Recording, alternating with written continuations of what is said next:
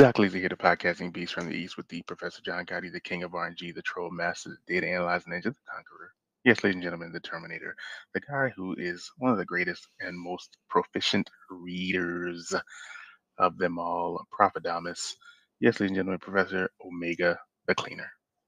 You forgot the wise man wow. for your reigning, defending, undisputed podcasting champion, our tribal beast, the head of the table, your friend and mine,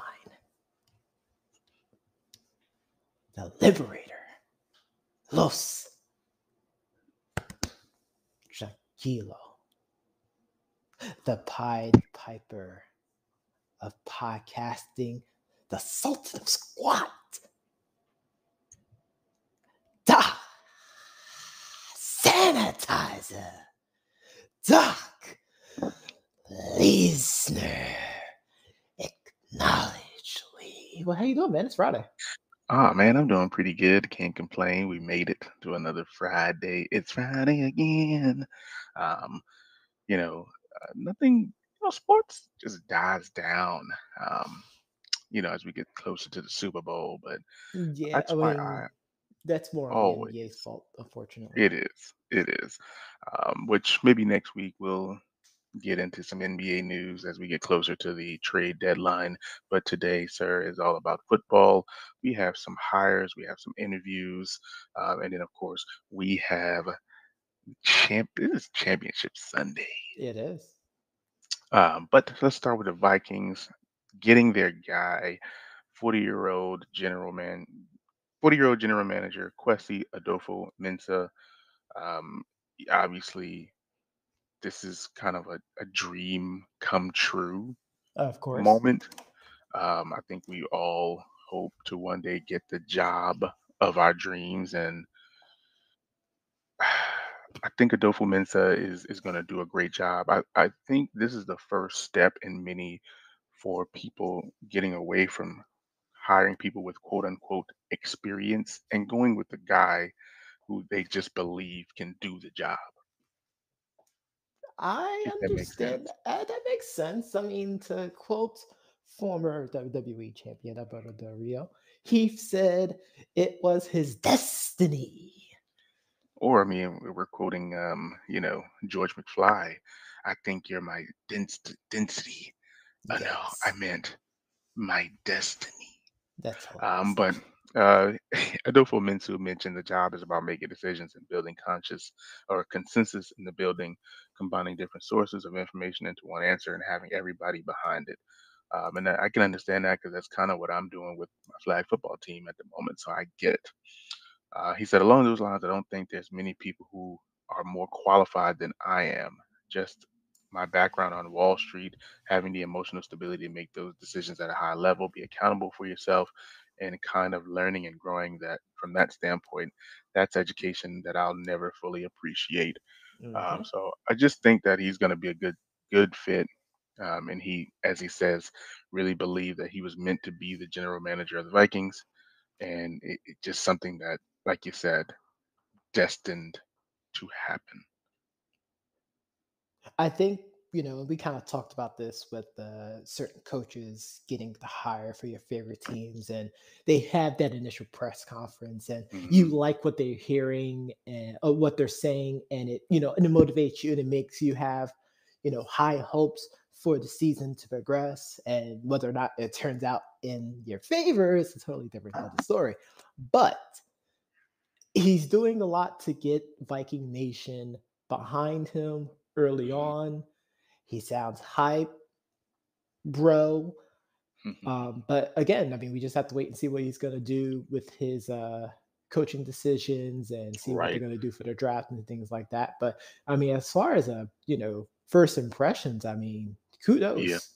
Yeah, and I'll say just his background in the NFL alone, uh, working with San Francisco and in the Browns, uh, when I think about those two organizations over the last couple of years and the GMs that he worked under, I think he gained a lot of experience. Um, obviously, those two franchises turned it around.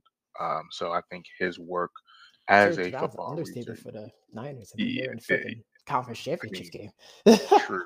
put, Um, you know, respect on their names, Doc. Yeah, I mean, but you look at the Browns. I mean, the people that they've been able to bring in, um, although it hasn't, um, you know, shown on the field just yet, but the people they've been able to bring in and the contracts and the draft picks they've been able to make, um, you know, John Lynch and Andrew Berry, respectively. I believe this guy um, gained a lot of that exp- expertise, and I'm looking forward to seeing him bring that to Minnesota because they desperately need it.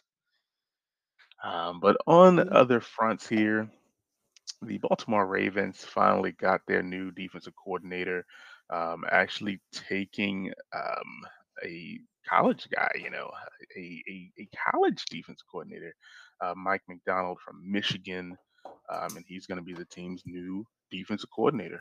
Um, you know, during his, you know, I I guess this is somebody that used to be a, a guy there in, in Baltimore uh, during his initial seven seasons with the team. It was evident. Uh, John Harbaugh says that his leadership, intelligence, and passion would earn him an opportunity to be a defensive coordinator in the NFL. Um, you know, Mike continuously proven himself, including when he led one of the country's best defenses at Michigan last year. He's a proven play caller who knows our system well. He also hmm fully understands the standard of playing defense in Baltimore. Uh, bringing a guy back who, you know, eh, kind of going to install that old defense that the Ravens used to have between 2014 and 2020 um, I think it's something that they really need to get back to because you remember, I mean, the Baltimore Ravens defense used to be really feared. Yeah, and I I think the last two or three years kind of gone downhill. yeah, I mean, but again, it goes back to adjustments, and they didn't hmm really have, you know, those type of linchpins, linchpins on the defensive side. Um, I believe they had one person, but then he ended up going to the Browns for like a season. hmm I don't know where he is now. Uh, I believe it's Kruger. Hmm. That sounds right. I I can't confirm that. Um, but it depends. I mean, it might have been one of those situations where he was just a position coach, and then like the only reason you leave a team is to get, for the most part, is to get a promotion. Um, you know, you either become a position coach or coordinator or, or Yeah, it of was Paul Kruger, and he actually retired in 2016. and that makes sense. And and that makes sense. Yeah, that, makes perfect sense. and I was right. He Uh, did go to he did he did go to Cleveland, and then he went mhm, to uh New Orleans for like half a season. gotcha. Well, we'll have to keep an eye on this Ravens development and see if it turns the defense around. Um, but with other developments, obviously, we talked you know, earlier this week about Sean Payton's exit. Uh, the Saints have put in a request to interview Byron Leftwich, uh, which is very interesting because, again, is. I personally think that Dennis Allen should get the job, but I Well, understand them doing their due diligence. Dallas Allen is also being interviewed for the role as well too. Um, hmm and I want to say Paul Allen is the other person. Well, Dennis Allen, there's um, let me see, I just had it over here. Dang it. Where are you? Where are you? Yikes. There we go. Dennis Allen, Leftwich. It's Aaron Glenn. Aaron Glenn. Uh, Aaron Glenn is the Lions defensive coordinator. So those are the three people that they've interviewed so far. Um, I'm like I said, I'm really interested to see some of the other teams. I, I didn't expect this job to be open, so um, I don't think Byron Leftwich would fit in New Orleans. If I'm him, I'm looking at this opportunity as somewhat of a trap. Um, I probably would go somewhere where you know you're gonna at least have some cap flexibility. Like this is a tough job um, to take because you know there's going to be have to be some turnover to actually produce a, uh winning team. I'm sorry, Sirius XM Radio, I can't talk to you right now. I'm doing a show with John Gotti, and now that is not an advertisement. That's me telling them to stop spamming me. Um, so I'm interested to see the Saints and see what they do. But if it's me, the guys already know Dennis Allen. They they believe in Dennis Allen it's already been a shock that Sean Payton left. You don't want to send Dennis Allen out as well. I personally think that in order to protect the franchise and not take a step backward and have to go into a full rebuild, you keep Dennis Allen. I I actually think that this is more of a a act of kindness towards Byron Leftwich. I think they're actually going to have Dennis Dennis Allen get promoted up to head coach. I just think they have to fill a quota, quote unquote, to interview a certain amount of people. I guess that would be the Rooney Rule. I guess. Yes, it is the Rooney Rule. Yeah, I guess that that would be that would be it. Um, you know, yeah, I guess that that makes sense. Um, because then they they would get fined and all that extra stuff. So that makes perfect sense. Uh, finally, with the last news here about head coaching vacancies and GM vacancies, uh, Patriots offensive coordinator Josh McDaniels has been requested from the Las Vegas Raiders. Um, I personally don't think Josh is ever going to leave New England because he knows that Bill Belichick's days are numbered. Um, and Yeah. you know, it's kind of just like you you just gotta wait, you know. Well, but it's good for them to and, put in and their think about like though, this though. He would rather inherit the Patriots helm right? than have to rebuild all over again. Yeah. Even though the, the Raiders have a, a great team, uh, something that I think Josh McDaniels didn't have a lot of in um, Denver. hmm Um, they have a great team that you know obviously management is pretty good Um, I just don't think he's gonna leave New England. I, I think you know you think about it like I I would just wait because you know Bill Belichick is pretty much gonna pull a Bill. Oh, you're making a face. Oh, I thought you were saying Josh McDaniels accepts the job like, as I'm talking. You know, uh, Bill Belichick is gonna pull a Bill Parcells and uh, just kind of turn the job over. You know, to Josh McDaniels on his way out. I mean, that's that the way. I that's the way I look at it. There's I mean, we really haven't had that in football in a It's long very time. rare. Very, very rare. Um, which I feel like the same thing that Bruce Arians is going to do um, if those two coordinators stay on in Tampa. It's like, hey, one of you is going to get a job. Um, but if not, I think it'll be maybe a Harold Goodwin, um, somebody who, um, you know, somebody who has never gotten the chance. Um, hmm you know, something like that, I, I think uh, will happen. So we'll have to keep an eye on that.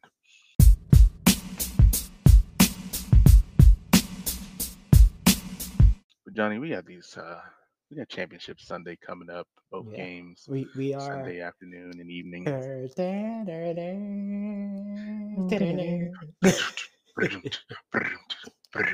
Um, but we got Cincinnati heading to Kansas City one more time. Uh, last time these two met, Cincinnati got the W. They got the Um, gritty win.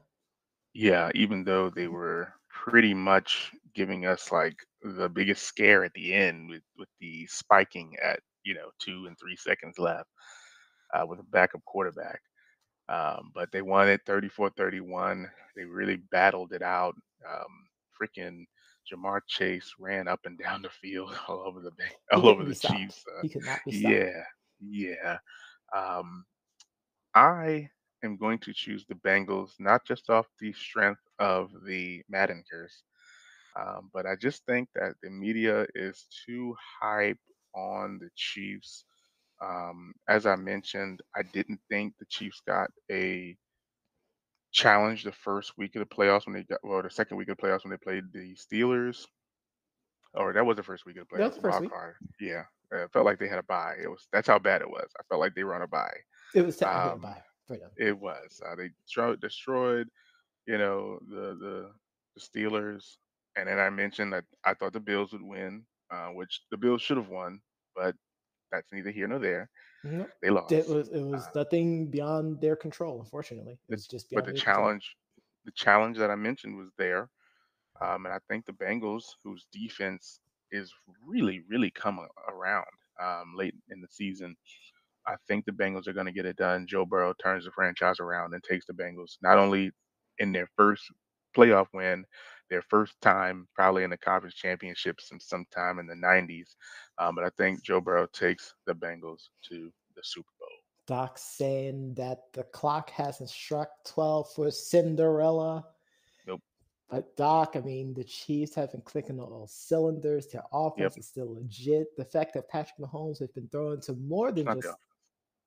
Not the offense. Tyreek It's not the and offense. Travis. You know, you know dang well it's not the offense. You could skip But- that and go straight to the defense. their defense during the season I mentioned have been playing excellent. Ooh, during Uh, the their season, front sure. four has been playing tremendously. The Yeah. biggest issue that they have right now is their secondary, and we don't know what's going to happen with uh, Honey Badger, but we will find out. Hopefully by today, whether or not he's in Uh, or out. Um, I don't even know if it matters because I mean that but, it's not I even mean, him; it's the- the other guys. It is. It is the other guys. But despite all those defensive woes, though, I mean that offense cannot be trifled with. hmm But with all that said, Doc, my decision who's going to the Super Bowl to represent the AFC, Kitty goes meow. I'm going. Kitty goes meow. Um, I think they have to just. I think they just have to look back. I mean, They need team. to. They need to, and they need to make Patrick Mahomes very uncomfortable early, and then keep Yeah, it that way. I think they'll look at that Bucs Super Bowl, you know, matchup, and and I think you're going to see something similar, or you're going to see how. Um, I always go back to this: how the Chargers played the Ravens that one year, shutting down Lamar. Um, Mhm. You know, um, but I'm going to say this last thing, um, and then we're going to move on to the next game, and you can you can chime in. But I think Joe Burrow is exactly what the Bengals hoped that that bum Carson Palmer would be all along. Nope, nope. I'm just ready to go to the NFC Championship game on that one. Somehow, some way. Yeah, No, no, no. Let's move on before you get down sportsman. Like, let's move on. There we go. Uh, well, we got the San Francisco 49ers headed to LA to play the Rams Sunday night, 6:30 p.m. Eastern Standard Time. Um, I think it, I read that San Francisco has beaten the Rams six straight times, which I don't like that particular statistic. Um, when they start, you know, kind of meddling that, and of course, we had the stupid question of, you know, is uh, Kyle Shanahan in your in your head, McVay, and I, I don't like that at Mm. all. Um, but this is a really even matchup. We don't know who's in, who's out just yet for the 49ers, but the Rams are healthy. Um, despite the fact that they almost blew it against the Bucs. Uh, technically, they did blow the game against the 49ers, um, you know, at the end of the season, uh, pretty much putting them in this predicament that they're in. Um, but just by the tail of the tape, the 49ers are playing better than their record, you know, is suggesting. I mean, seventh Yeah. in offense, third in defense, 12th in passing, seventh in rushing. Um, but they just don't. It's just Jimmy G. He just doesn't play consistently. Um, and that's the part that I'm worrying about because Jimmy G by no means is Tom Brady. He's not going to be able to put his head down on the bench and look at the tablet the same way Tom did last week. So they can't be falling behind too early and think they're going to come back and win this game, you know, two times in a row. You know, it's just not happening. Uh, yeah, I'll say it. Jimmy G, yes, he was behind Tom Brady, and yes, he can look at the tablet just as well. But I don't think that's going to happen. Exactly, slamming it down, slamming it down. So Uh, but with that, Doc? Johnny, um, I am going to go with the Rams. Um, although I want desperately San Francisco versus Cincinnati, I think that would be the best game. Because I, I just want I want the underdogs to win. And I think the 49ers are the underdog, even if the point system doesn't show it. I don't know what the points are, but um, I I just feel like you want the underdogs to win. I Um, can understand that. but I think the Rams, although they're this close, I think they're going to stamp out the 49ers. It, it might not be close, or it might be close. It might be another close game, but I think the This Rams is will figure out a way to NFC. West game. It's Yeah, gonna be close. yeah, Again, it's either gonna be close or a blowout. There's no in between. yeah. Um, yeah, I'm gonna go with the Rams. Uh, McVay has to get this done, man. Uh, Stafford needs this. OBJ needs it. Aaron Donald needs it to solidify itself as one of the greatest defensive If players if of all the time. Rams doesn't win this game, the overrated chance will be raining upon them throughout the entire offseason. The super team in the NFL Mhm. logic will be dead. Yeah, it's gonna be tough to bounce back from. Um, it's gonna question everything, you know. Um, uh, it's gonna question everything. That's Mhm. all I can say. Uh, but who are you going with this, sir? You know, Doc, Uh-oh. I hate to do this. It's, it's tough. You gonna I go really tie? do. No, we can't. it- there- there's no ties in the playoffs. Come on. we may go into two overtimes, though. Yeah, I can understand that. I'm going read. with the 49ers. Hey, that's a good choice. Again, Their uh, defense is legit. hmm Their rushing is really good. And Debo, they he's playing. have Debo. He's playing. Yeah, He's playing. Uh, He's that's- playing. He's playing. I He you. wants to go to the Super Bowl. He Of course. wants to go to the Super The fact that we would have Ja'Marr Chase, rookie, first round, Joe Burrow, second year, first round, and Debo, first year, first, uh, second year, first round. Like that's that'd be ridiculous. I Mhm. would love that. But yeah, I I'm guess going it with the also 49ers. depends Um, I Trent Williams seeing- also though. I'm comparing this to like where the offense wasn't, you know, all that cracked up to be, but their defense is like locked down. It reminded me of that 20 uh 2008 Giants team. Yeah. Like they weren't the best offensively, but that defense locked things down. Yeah. And they were the road warriors. And I see that same thing happening here. So I'm gonna go with the 49ers. I got you. And and it'll continue the notion of defense winning championships. Gotcha. Which is typically how it goes. I mean, you think about last year, the Bucs were what top five defense. Um, you know, the Chiefs were well, the Bucs were top five the offense and defense last year. Mhm. Um, but the Chiefs were top five offense, uh, probably top ten to top fifteen Yeah, like defense. it's like they were around Um, mid for the defense. Yeah. Um, when we look here, you know, I'm thinking to myself, you know, top 10 defense in the 49ers, you know, versus, um, you know, both defenses in the AFC are, you know, bottom 15. But um, I'm just interested to see Joe Burrow versus Jimmy G. I don't want to see Patrick Mahomes again because I just if it's Patrick Mahomes, then I want to see him versus the Rams. I want to see, See, you know, I wasn't even thinking of that. I was just I thinking of which team, when they go head to head, who I feel like would actually win. Like I know a lot of I people mean- want because because we kind of had that whole issue with Steph Curry, and I'm not going to get into basketball with this, but like you know he won the championship, and then he got back to the finals again, but then people really didn't like him anymore because they were being really sympathetic to LeBron kind of thing. Like that's kind of what's happening with Patrick Mahomes. People don't want to see him Mhm. back in the in the Super Bowl anymore because he's been in there for the past two years, so they're you know going through uh Mahomes exhaustion. Well, I mean, I think the only only benefit that I have from it is that you know the Bucs were able to beat Patrick Mahomes, so you Yeah. know it it helped me out tremendously. I mean, but everybody else, it helped me out.